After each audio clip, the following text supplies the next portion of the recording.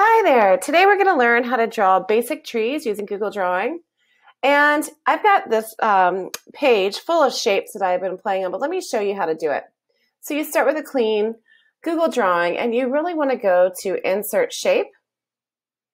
And you can choose any shape. Maybe I'll pick the cloud shape. Click and drag. And the trick to trees is to get rid of the outline and to play with the color. There we go. Now you want to duplicate it. So on some keyboards, you need to Alt D for duplicate, and some it's Command C for copy, Command V for paste. So the trick to trees is actually sort of layering them. And that's how you get these unique shapes um, when you're trying to sort of quote unquote build your tree. So let's try another shape. Insert, shape. And here I can look for Let's see, I think I will just try a triangle. So you can imagine, now don't forget, take out your border and change your color. You could command copy, command paste.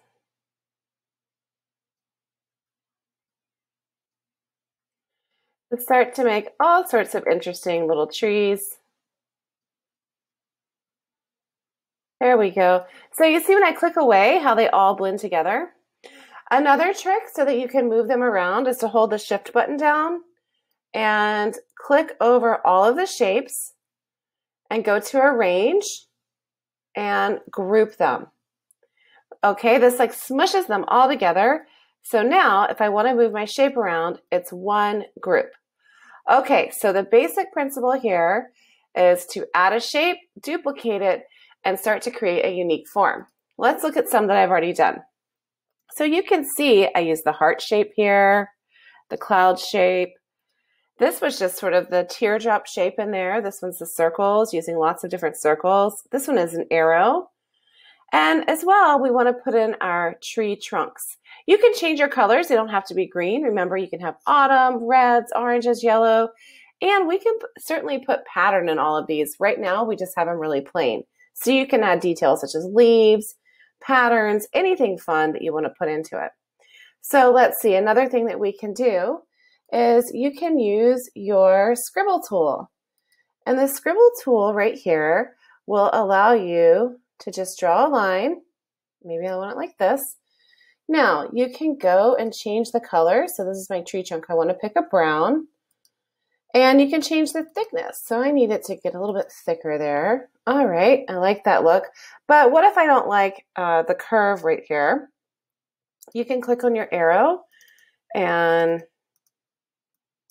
make some adjustments here. Okay. Now I can go back to my scribble tool and whoop, maybe I want to build another one. Don't forget to change your color and adjust the thickness and that you can move things over with the arrow.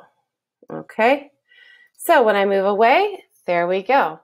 Um, if I want to fill this in, I would just keep sort of adding lines or shape to fill in what I have here. So maybe I need a little rectangle. Um, I would try different shapes to fill it in. So that's the way to use your scribble tool. This was just inserting a rectangle and another shape. So it's a layering of shapes to get these tree trunks. That one was a triangle. So lots of fun things. And this is just the very beginning of this. So there's a lot of fun things you can do.